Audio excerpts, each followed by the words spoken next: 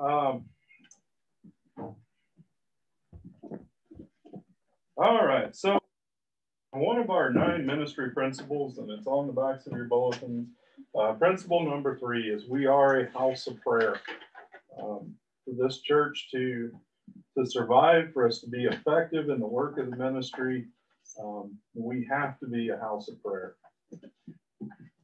But that is only true. We can only be a house of prayer if we pray. I'm not the smartest bulb or brightest bulb in the box, but you know, it's kind of hard to be a house of prayer if we don't pray.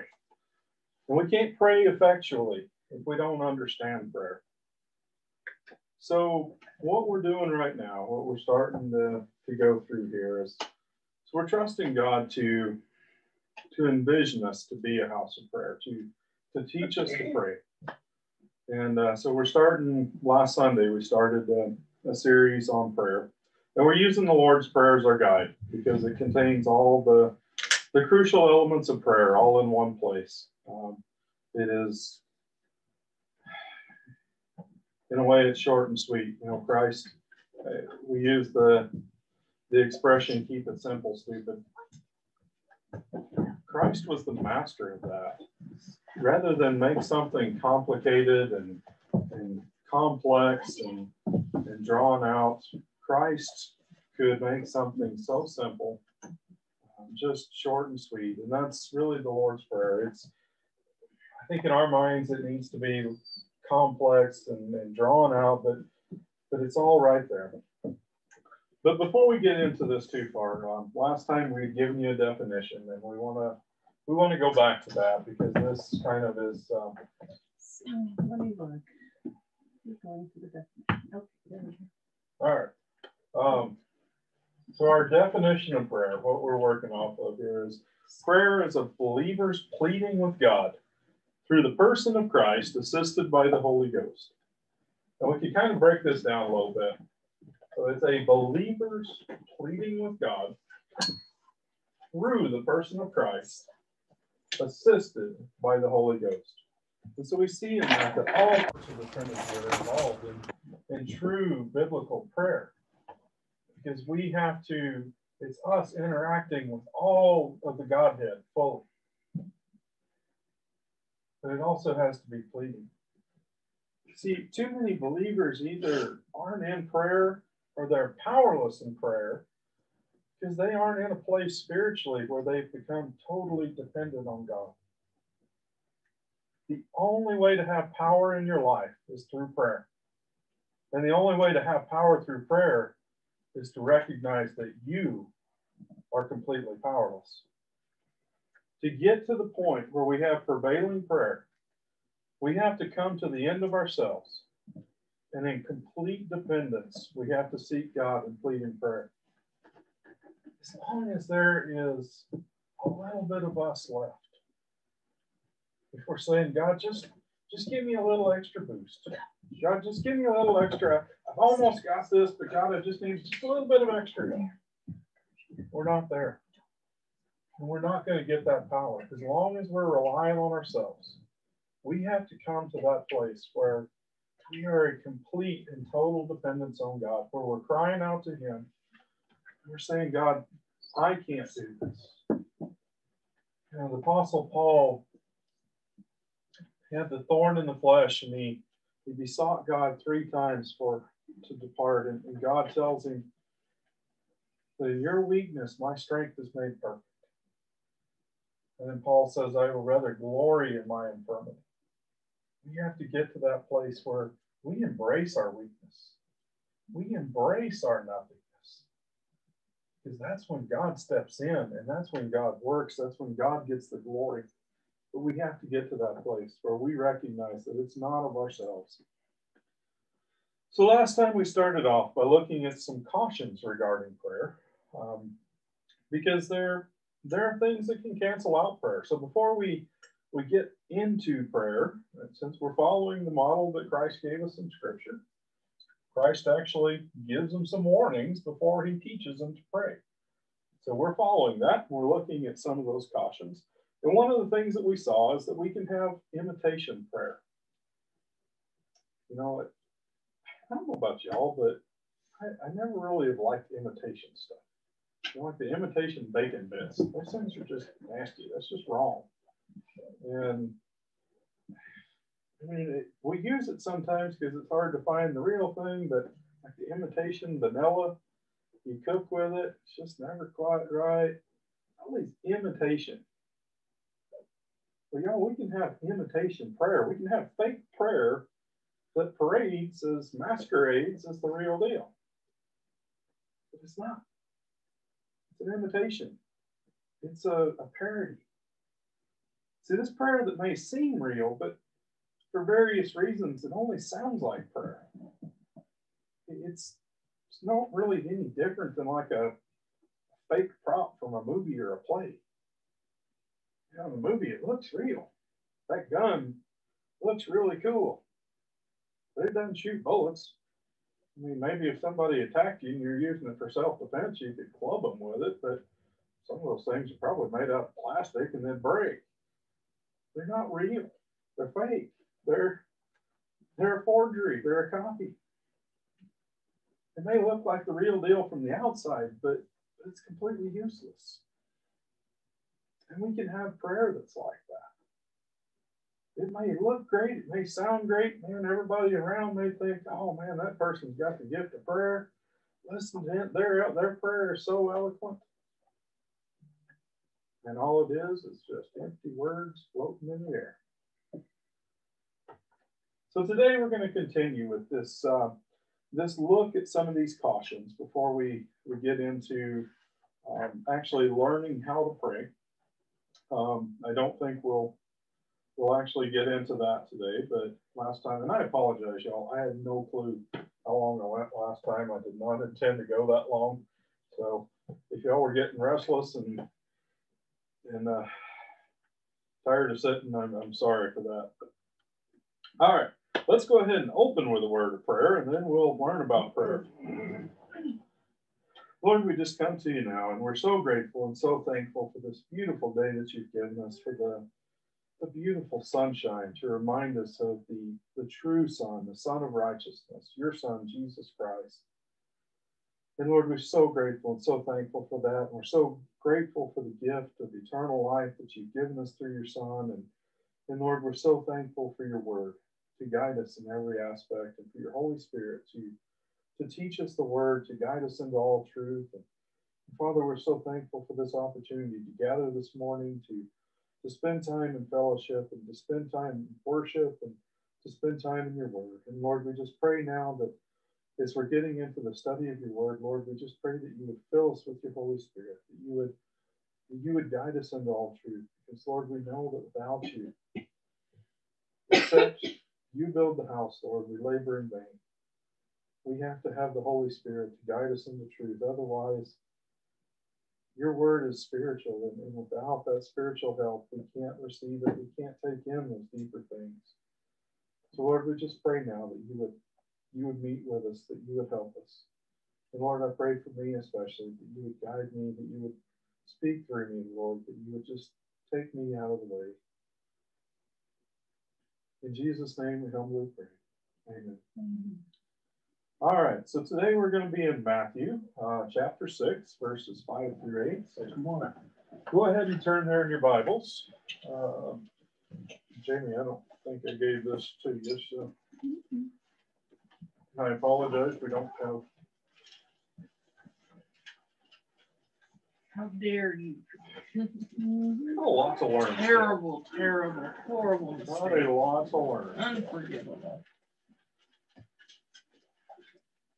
I didn't communicate this to Jamie, and so we don't have a slide, but. All right, so Matthew chapter 6, um, starting in verse 5. And when thou prayest, thou shalt not be as the hypocrites are for they love to pray, standing in the synagogues and in the corners of the streets, that they may be seen of men. Verily I say unto you, they have their reward. But thou, when thou prayest, enter into thy closet, and when thou hast shut thy door, pray to thy Father which is in secret. And thy Father which seeth in secret shall reward thee openly. But when ye pray, use not vain repetitions as the heathen do For they think that they shall be heard for their much speaking. Be not ye therefore like unto them, for your Father knoweth what things ye have need of before ye ask him. Okay, so we're actually going to be picking up today, and I had to stop in the middle last time. Um, we're going to be picking up in verse 5 there. And uh, yes. So last time we had talked about, um, we have a few assumptions, and we had only gotten through the first one. That, but part of what this verse assumes, the, the first assumption that we covered, what we see here is, and when thou prayest. So there is an assumption that, uh, remember that Christ is, is talking to his disciples here, to the 12. And there is an assumption that they pray. And when thou prayest, it's not if you pray, it's not when you start praying, it's not if one day you pray, when thou prayest. So, one of the things that we can take away from this is that a disciple of Jesus Christ prays. That's part of being a disciple. And that's part of what happens with discipleship as we go through that, that process. I don't want to say those lessons, but that process of discipleship, that biblical process of growing in God's word. And, and part of what happens through that over the course of that is that the disciple becomes established in prayer. One of the four goals of discipleship that we have is to establish the believer in the worship of God. And prayer is part of worship. Worship is not limited to just the songs that we sing. We also worship God in prayer because uh, prayer, in prayer, we praise God and we bring, we glorify God. And so prayer is part and parcel of discipleship. We can't separate those two out. If we if we are truly a disciple of Jesus Christ, we pray. Um, but today we're going to be in, we're starting with our second assumption. And our second assumption is that we pray because we are really addressing God. And I struggled with the, the wording of this a little bit. Um, and honestly, I can't take credit for the wording of that. I, these are a set of notes that I was given and um, by some someone whose shoes I do not feel qualified to fill. Um, but I tried to take it and sort of make it my own, but I've left some of these points alone. And, and I know that maybe this doesn't totally make sense the first time I read through it. But another way that we can say this is we pray because we are we are truly addressing God. Um, th this isn't just saying words into the air. This is not just uh, the heathen where they're, I hate to say this, but we passed the Catholic Church this morning and, you know, they, they pray to the statues of the saints. And um, this isn't addressing an object. This is addressing the living God of the universe. That's why we pray, because we are addressing God. But this is an area where, where a lot of Christians struggle. Um, this, this idea of addressing God, because for one, we can't see God. And God is a spirit, so we don't see him. Jesus Christ was the physical manifestation of God when he was here on earth in his earthly body, but, but he is, of course, right now at the right hand of the Father, so we don't see God. We don't touch God, we don't with our physical senses. But God is a spirit. We worship him in spirit and in truth, and we are indwelt by the Holy Spirit. And so we have a way to connect with him. It's just not something that when we're first saved, it's completely foreign to us because we've lived our whole life up to that point being spiritually dead and, and living and walking in our flesh. And so this is something that's totally new and we're not familiar with it. And then for so many of us, even after the point that we get saved, we spend so long as a babe in Christ. Or maybe we've grown up to maybe be a little child. we've never really grown and matured spiritually. And we walk in the flesh and, and we don't have an intimate relationship with God. And so we don't really know how to address Him. You know, we, I remember where I put this into my notes. Um, I think we have a passage from from Ezekiel Nehemiah. or Nehemiah, yes. I need copy this morning. Um, we can see kind of a, a cool representation of this in Nehemiah. So Nehemiah, um, Nehemiah chapter two, verses one through six. And I know you're, going, what in the world does Nehemiah have to do with prayer? Well, hopefully this will be clear. And it came to pass in the month Nisan, in the twentieth year of Artaxerxes the king, that wine was before him, and I, being Nehemiah, took up the wine and gave it unto the king. Now I had not been before time sad in his presence. Wherefore the king said unto me, Why is thy countenance sad, seeing thou art not sick? This is nothing else but sorrow of heart. Then I was very sore afraid, and said unto the king, Let the king live forever. Why should not my countenance be sad? When the city, the place of my father's sepulchres, lieth waste, and the gates thereof are consumed with fire. Then the king said unto me, For what dost thou make request?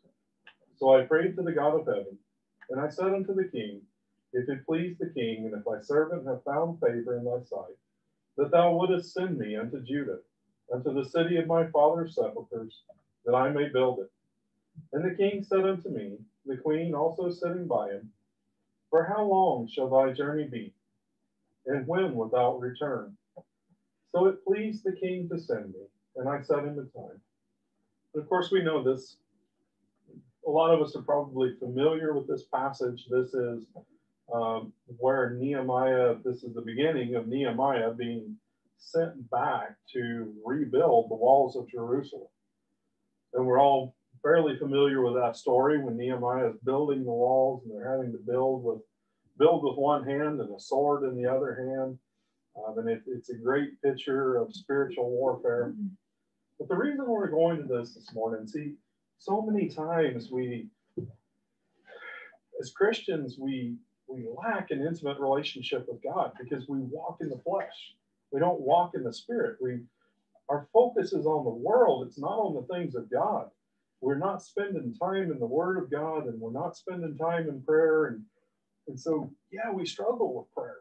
We struggle with with being able to directly talk to God when we do pray because we don't do it. And so it's so foreign and so strange to us. And we wind up just saying words into the air instead of truly having this, this close, intimate discussion with God. And one of the errors that we have to be careful of, we can go to one extreme before we never talk to God and we just, it's so rare that we don't even know Him. Or we go to the other extreme of forgetting that He is God. And yes, He is our loving Father. But don't forget that He is the God of the universe. He's not your best friend. He's not your bro. He's not whatever term you want to use. Jesus isn't my boyfriend. It's he is God. But what we can see here from Nehemiah, we see this intimacy of the relationship. See, Nehemiah was the king's cupbearer. And so Nehemiah was always in the presence of the king. It was his job to actually to make sure that the king wasn't poisoned to taste the wine before he would give it to the king. So every time the king wanted a drink, every time the king was thirsty, Nehemiah was there. So he had to stay close at hand. And so, because of that, it gives him an opportunity to have a close, intimate relationship with the king. Yes, Nehemiah is in a, a servant's position, just like we are a servant of our Lord Jesus Christ. But there's this intimate relationship. They know each other well. The king knows Nehemiah so well that he sees Nehemiah's countenance as sad. And the king cares for him and he says, What's going on? And so, this is the way our relationship with our king should be. He's still the king. We see there in verse 3, Nehemiah says, Let the king live forever. He's, he's giving respect to the king. But he's also intimately talking to him and sharing, pouring out his heart to the king when the king asks. So this is the relationship that we have to have with God in order to pray and really address God. So to get back to this, know that you are about to address God when we when we pray. Know that you are about to address God. And although you can't see him, know that he is really there. If you can feel the reality of God's presence, it will put your mind in a humble state. If you can put yourself spiritually and mentally before the throne in heaven, at the foot of the throne, puts you in a state of humility when you realize that you are in the presence of God everywhere in Scripture. Someone meets God. What do they do? They fall on their face. That's what happens. And it's that's not really even a voluntary reaction. It's just his overwhelming glory. Down they go. But that's what we have to. We have to be before the throne, bowed before the throne. And when you recognize that you're in the presence of God and you take your rightful position of humility, the next, the next thing you want to do, part of that humility, is that you recognize that you have absolutely no right to what you ask for. You know, we live historically, I mean, yeah, I guess we'd say historically, the, the actually be the, the prophetic application of the seven letters to the seven churches in Revelation chapter 2 and 3. We live in the, the Laodicean church age, the last age. The word Laodicea means the rights of the people. We live in a country that was founded on our rights. We have the Bill of Rights, and, and we're all about our rights. And man, if we don't, if we think our rights are infringed, we squall like mashed cats. And we pitch fits and we protest and we do all kinds of things. But realize that when we come before God, we have no rights. God does not owe us anything. And so when we come in prayer, God does not have to grant us anything because we somehow deserve it or we have a right to it. See, the, the act of our speaking does not obligate God's hearing. The act of our prayer doesn't require action on God's part. We've got to have that mindset, that humility. if you call a prayer chain and you have the whole church praying, God's not more obligated to hear you because there's more voices. You can't count on your praying in itself. What you have to count on is God's grace. See, God honors our prayers because of who God is and because of Jesus Christ. Not because of who we are and because what we deserve or what our rights are. It's because of who He is. It's because He is a God of mercy, He is a God of grace. You can't expect to get an answer except as a free gift due to you because it was won by Jesus Christ. Hebrews 11 6. But without faith it is impossible to please him. For he that cometh to God must believe that he is, and that he is a rewarder of them that diligently seek him. And this brings us to our. Jamie, I don't you have the verse first to the point first.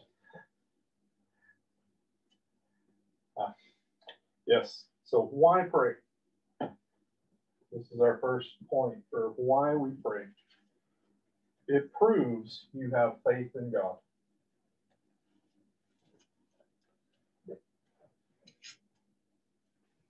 See, it is our faith that activates the promises of God's word and the grace that we receive through Jesus Christ.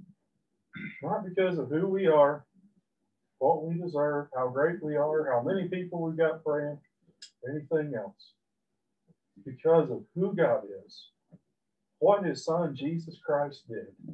And we tap into that through our faith. James 2:20 tells us that faith without works is dead. It's a fairly familiar passage that we all know.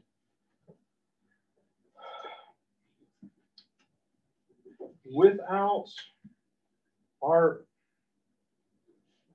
prayer is one of those, those outward signs that we have faith. If we lack faith, we lack prayer. We lack prayer because we lack faith. So you don't prove your faith by saying you believe. We can say that we believe till we're blue in the face. I can say that I believe that there's little green men on Mars, or I can say that I believe that the sky is purple. That doesn't prove my faith. That's just saying words. See, faith is Hebrews 11 1 gives us the definition, the Bible's definition of faith. Faith is the substance of things hoped for, the evidence of things not seen. Faith requires action. If we were to go through the rest of chapter 11 of Hebrews, this is a passage that many will oftentimes call the, the Hall of Faith. And this goes through so many of the Old Testament saints. And there's some folks in there that you'd be awful surprised, given their life and most of their testimony, that they're in there, like Samson. We tend to say, well, anything that Samson did, do the opposite because he is the worst example there is. Samson makes it into the Hall of Faith because he had just enough faith. Don't get me wrong. Don't don't copy Samson, please. Don't.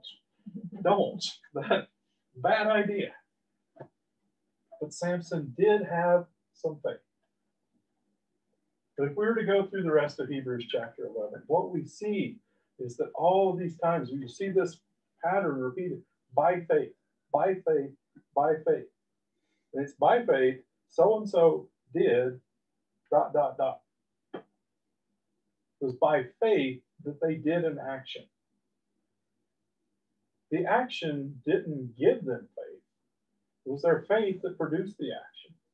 And for us, our faith produces prayer. If we believe that God is who He is, who He says He is in His Word, and if we believe that the way we access that, we, the way we access His promises is through prayer, if we have that faith, then the natural result is that we pray. Faith is proven by true prayer, which is addressing somebody you believe is really there if we don't believe he's there, then it's not faith to really address it. We're just going through the motions. And we don't address him if we don't believe he's really there. That means if you're not a praying Christian, you're not a believing Christian. And I'll say this we can all, and I know that that, that may kind of hurt. And maybe we've all gone through seasons in our life where we didn't pray. We start saying, well, am I really saved? Well, that's between you and the Holy Spirit. Examine yourself. Know that you know that you know. We can know. I mean, our, our memory verse is that these things have I written unto you that believe on the name of the Son of God. Ye may know. We can know through the Holy Spirit. But we all go through seasons in our life. Remember, God is a spirit. In order to pray, we have to be in the spirit. And we go through seasons in our life where, especially as we're we're less mature in Christ, and we go through times in our life where where we have quenched the Holy Spirit to the point that we are no longer in prayer. And so please don't, you know, don't take this me saying that if you're not a praying Christian, you're not a believing Christian. It's very possible that you are a Christian who is who is walking in the flesh, who has quenched the spirit. Um, but we, if we are, if we are a disciple of Christ, if we are following after Him, we've taken up our cross and we're we're going after Christ, we will pray. And it may start out small, but we will pray and it will build. You know, faith being the, substance of things hoped for, the evidence of things not seen. One of the, the easiest examples that comes to my mind, especially living here in, in southeast Wyoming, um, we got this thing. It's a really, I don't even know if I should say this in church. It's a four letter word. It, it starts with a W. Wind. Don't say it. Yeah, it, it's a bad word around here. Mm. Really? Really? But we, we have this wind thing. Well, we can't see it. You know, we don't see the wind. But in our backyard, Wyatt's got a, a weather gauge, a weather station. It's got a little spinning thing, measures the wind. You know, sometimes some places we use a logging chain. the weather station, the, the logging chain, it shows us the evidence that that unseen thing is there. That's the way our faith is. It shows, it's the evidence. Our faith is the evidence to the world around us, part of that there is this unseen, glorious God. So, I know we're actually, time goes so fast. we better start winding this down for today. Um, so, you say that, okay, you know, I'm a praying Christian and I pray, but God still doesn't hear. Well, you have to understand this. It's not just the fact of prayer that proves faith. We don't just pray one time and, and that's it. And okay, God, I had faith, I prayed. All right. No, it's the perseverance in prayer that proves our faith. See, God doesn't make faith easy. God wants to try our faith. He wants to try us. He wants to, God knows our heart. It's not a test to see, for Him to see if we have faith. It's for us to see. But God weeds out those that are not truly in. It's the same thing in, you know, in the work of the ministry and the mission. God weeds out those that aren't all in through the fiery trials. Because God's work is serious. It's the same thing with our faith and prayer. So it's the endurance of prayer. It's that you grab hold. And we remember the story of, of Jacob. And this is this is Jacob wrestling with God and not letting go until you get a blessing. And sometimes, yeah, you may walk away with a limp.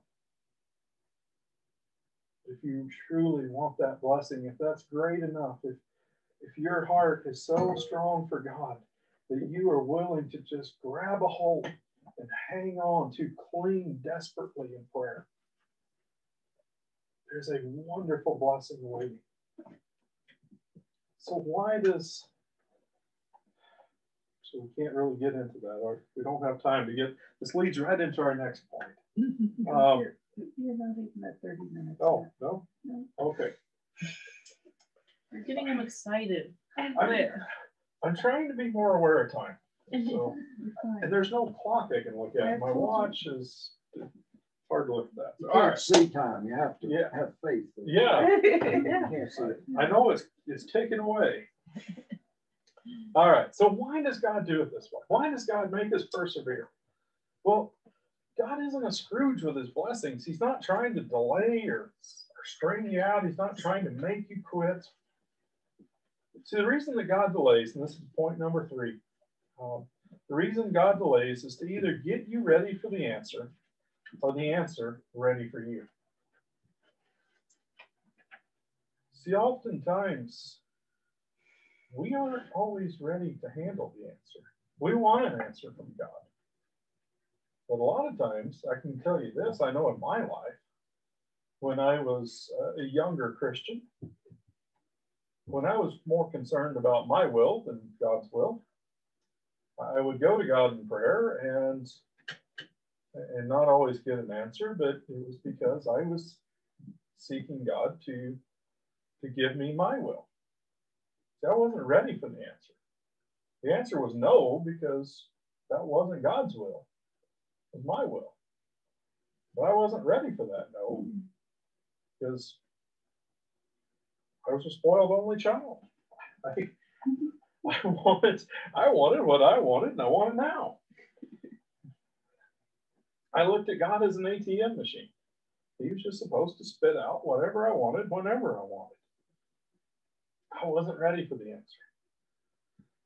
But God has to prepare us for the answer. That way, when, when we meet the answer, when the time comes, we're right where God, where God's providence needs us to be, to tap into that.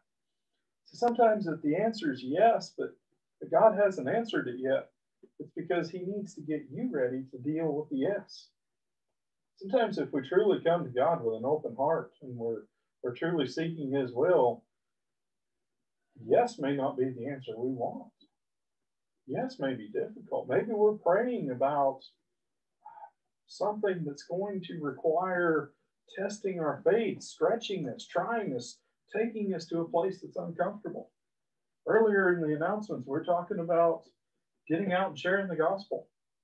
I can tell y'all that for me, that's that's not necessarily a place that I'm comfortable. Actually, my parents are the real well, Jamie and Steve kind of was. Most people don't know, but I was really shy most of my life, and I still am to some extent. It wasn't until law school that I had to come. And I couldn't tell my client, "I'm sorry, you're going to lose your case because I'm too shy to pick up, pick up the phone and make a phone call and talk to someone." But I still am uncomfortable making small talk with somebody I don't know. I, if it's a business, if I have a particular topic that I need to talk to this person about, that's great. But especially to just stop someone on the street and start talking to them about something that I know they may not want to hear about. It's not easy. That's, a, that's an uncomfortable thing. So I was asking y'all earlier to pray about signing up for this weekend. Well, that may be yes, may not be the answer that some of you want, because that may take you to a place that's uncomfortable, that may stretch you and push you a little bit. So sometimes God has to, to delay a little bit to get us ready for that yes, to prepare us, to strengthen us. And if the answer is no, but God still hasn't answered, it's because He knows you're not prepared to handle no yet. Sometimes the thing that we want, that we're praying about, we want it to be a yes. Maybe it's a new job. Maybe it's a, a different position at work. Maybe it's moving to a different location for a new opportunity. Whatever the case may be, maybe it's a purchase. Maybe it's something, oh man, I really want this new cool shiny thing. And I've convinced myself that I can use this in ministry. I can justify this because I can use it in ministry. Maybe 10% of the time.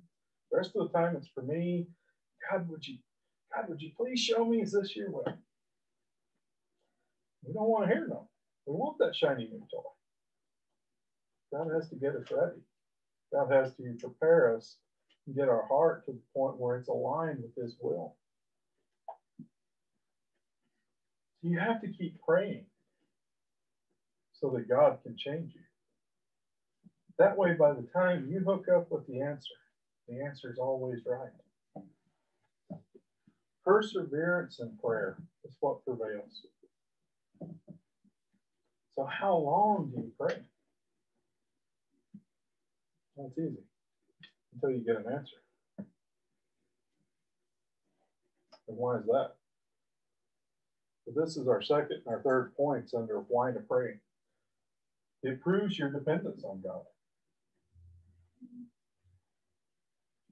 See, prayer is not really about us proving anything to God.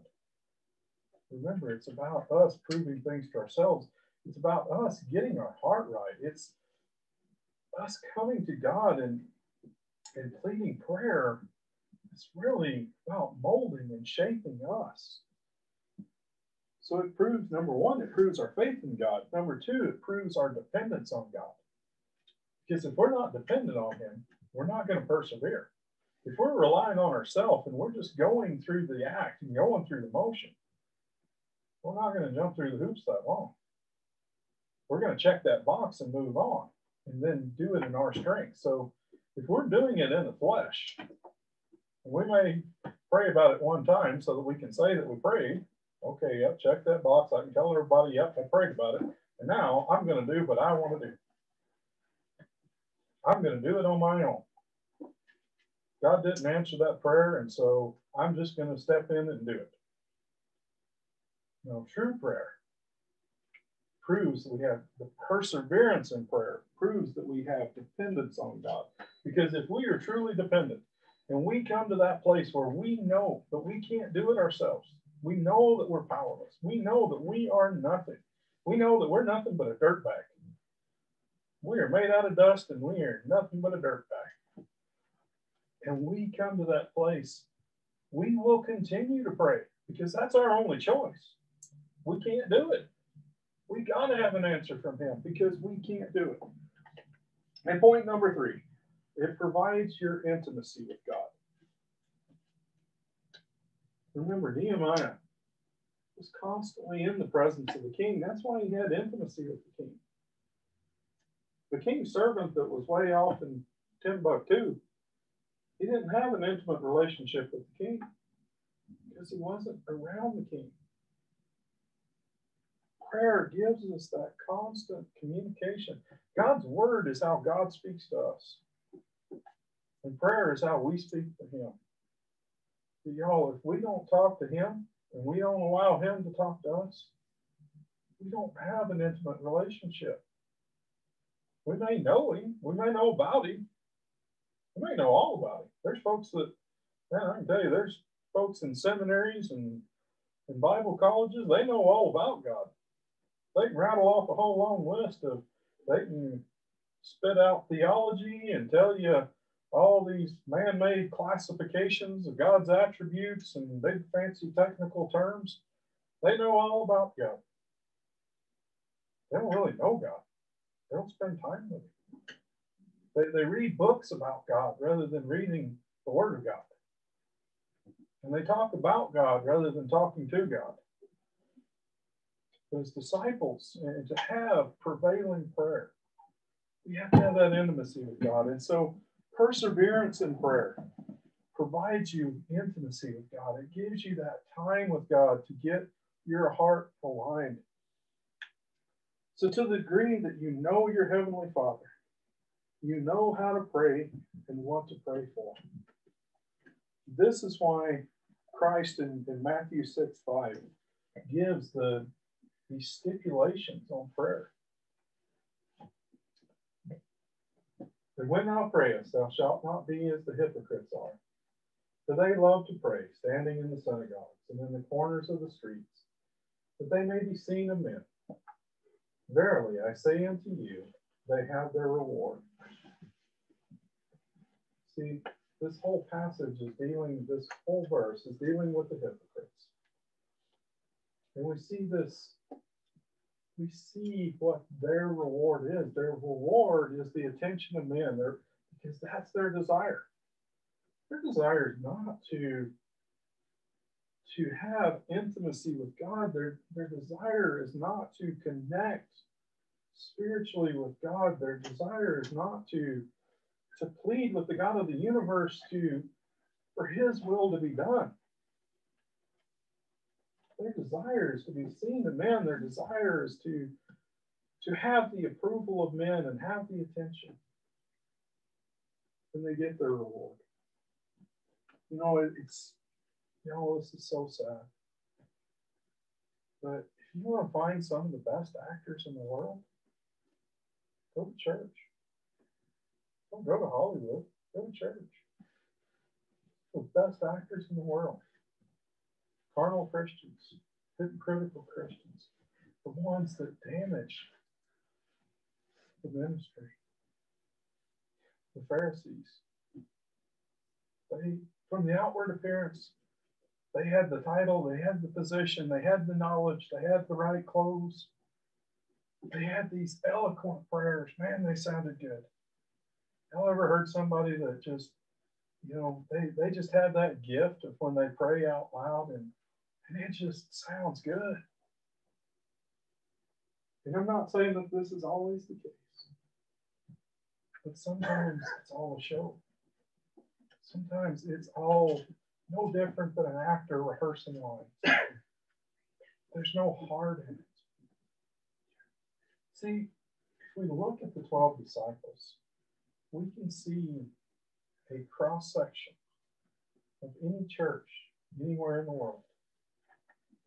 See, there were 12 disciples, the original 12. Eight of the disciples were, were average. You know, if we were to put this in church context, they they showed up most Sundays when they could when it was wasn't too difficult. When the weather was nice and they didn't stay up too late and there wasn't anything to distract them. They'd come to church and they'd sit there and they'd nod along. They, they even managed to stay awake. They didn't sleep. They um, that's about all. You know, they, they weren't if it was too difficult, they didn't come to church. If they didn't really get involved in the work of the ministry, that might take too much work. They were just average. They were lukewarm. They were there. They were they were bought in, but they believed. But then there were three. See, James, Peter, and John. At the Mount of Transfiguration, they go further. They were all in. And in the Garden of Gethsemane, they go further with Christ. And they're all in. But only one of those three was faithful enough to go all the way to the foot of the cross. And then there's Judas Iscariot.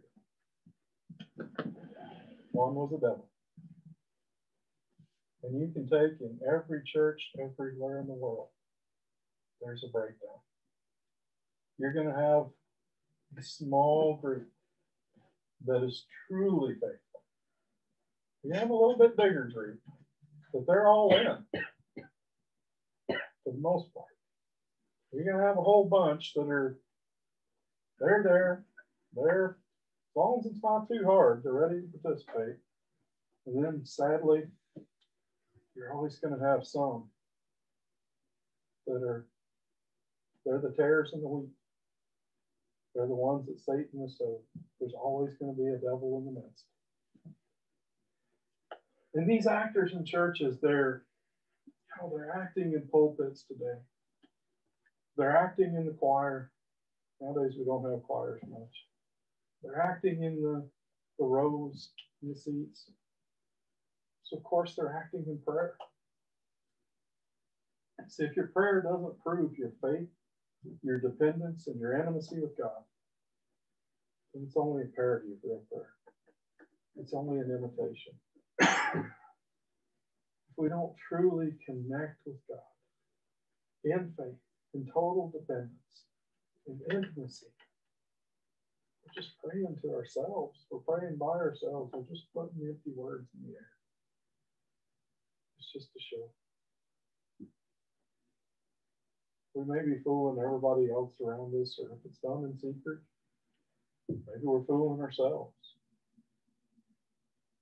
But it's not the real deal. All right. So let's go ahead and we're at a good stopping place for today. So we better wrap it up there for today. Next time, we'll pick it back up by looking at a place for real prayer. If I could have Steve come up.